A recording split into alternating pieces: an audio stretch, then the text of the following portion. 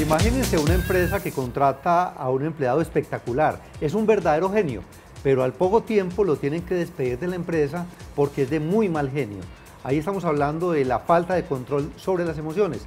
Inteligencia emocional es el tema que vamos a trabajar con Efraín Cardona, un coach muy reconocido. Efraín, bienvenido a nuestro programa ¿Cómo le ha ido? Muchas gracias Juan Carlos, un saludo a todos nuestros televidentes.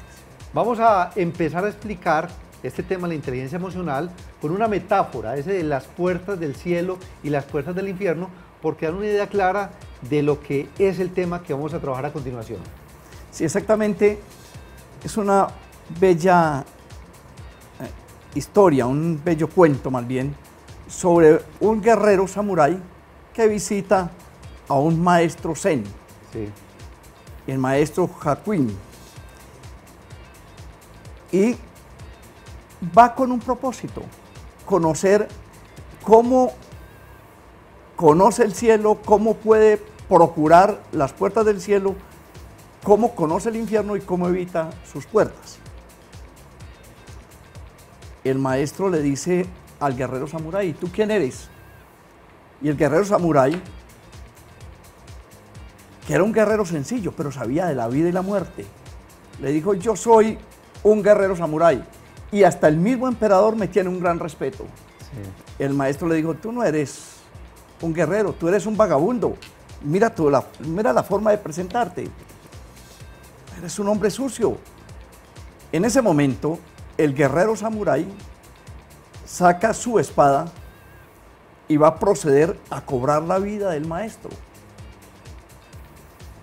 Al portas de realizarlo, le dice el maestro, un momentito, has entrado a las puertas del infierno, has pisado el infierno, tu ira, tu ego, tu mal genio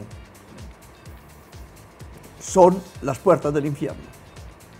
El guerrero comprende y va a guardar o empieza a guardar la espada en el cinto y en ese momento le dice el maestro, has entrado al cielo. Tu paz mental, tu paz interior, tu control, el control de tus emociones, es el cielo. Lo que nos enseña que las emociones son o nuestras grandes aliadas o nuestras grandes enemigas. ¿Y qué definición podemos dar, Efraín, de qué es una emoción? Básicamente una emoción, eh, a ver, del latín emotere, sí. es motere es movimiento y e en dirección. Luego, una emoción es una forma de movimiento interior que procura una, alteración del ánimo y es pasajera, puede ser agradable o no, y trae unas alteraciones somáticas. El cuerpo de alguna forma empieza a manifestarse eh, desde diferentes espacios. Se altera la respiración, se altera el, ritmo cardíaco, eh, se puede observar en muchas ocasiones la tensión en el cuerpo. Eh, entonces, básicamente se altera, se altera el, ánimo y se afecta el cuerpo. Aquí estamos viendo el cerebro y usted nos va a contar cómo funcionan esas emociones en el cerebro.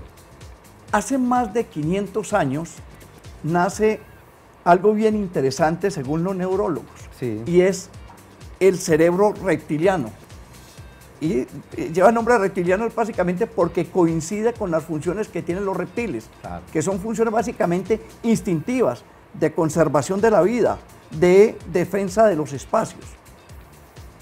Ese cerebro reptiliano guarda los instintos y guarda muchas respuestas que son automáticas en el ser humano y también muchas respuestas que son básicamente cambios fisiológicos o comportamientos fisiológicos que permiten la conservación de la vida, caso concreto la respiración, el ritmo cardíaco, etcétera, la sudoración. Claro. Después, como en forma de cebolla van haciendo otra capa del cerebro, que es esa capa es el cerebro límbico. Ya no se habla de un cerebro, sino de tres cerebros en uno, cerebro triuno. Y ese cerebro límbico es, el que guarda las emociones, el que guarda esas respuestas del el temor o la huida en el caso de los animales y en nosotros una serie de emociones mucho más complejas. Y después nace el neocortes o ya el, el, componente del cerebro humano con sus dos hemisferios, izquierdo y derecho, ya sabemos uno vinculado más con la parte racional, otra con la emocional, pero básicamente en el, en, el cerebro límbico tienen origen las emociones y hay, una, hay una parte del mismo sector que se llama la amígdala, que es aquella que controla en forma fundamental el tema de las emociones. Cuando yo procedo violentamente, puede ser que estoy en un momento dado capturado, secuestrado por la amígdala y no ha hecho el proceso desde el cerebro límbico hasta el neocortes, de manera que me quedé solamente con la respuesta sin el razonamiento. Muy brevemente, Efraín, el experimento de los masmelos y qué tiene que ver con la inteligencia emocional. Las competencias de la inteligencia emocional son básicamente cinco. Unas son interpersonales y otras intrapersonales. Esas intrapersonales tienen que ver con el conocimiento de las emociones, con el control de las mismas y con la motivación. Hay que recordar que toda motivación realmente es una automotivación. Y también tiene que ver con la empatía y las, el tema del desarrollo de las relaciones sociales. El tema de los masmelos es un experimento muy bonito hecho en una guardería de Stanford, de la Universidad de Stanford, con unos niños de cuatro años. Hay que ver eh, lo que sucede allí, es muy agradable, porque a los niños se les dice, les vamos a dar un masmelo para que lo consuman, pero tienen 15 minutos y al cabo de 15 minutos no, no lo han consumido, tienen derecho a un segundo masmelo. Hay que ver las maromas y todo lo que sucede alrededor de, de, de esta escena. Y finalmente hay unos niños que consumen el masmelo antes de los 15 minutos y otros que logran a través de una serie de estrategias eh, postergar la gratificación. Esto lo que se demuestra 20 años más tarde es que las personas que lograron controlar esa emoción, controlar la gratificación, postergarla, son personas con mayor autodominio, mayor autoestima y con mayores formas de productividad. Inclusive se, muestra en el experimento que eh, sacan un 2.10% en las pruebas con mayor resultado de los que no lograron controlarse. Efraín, ¿y cuáles son esas eh, clases, esos tipos de experiencias emocionales?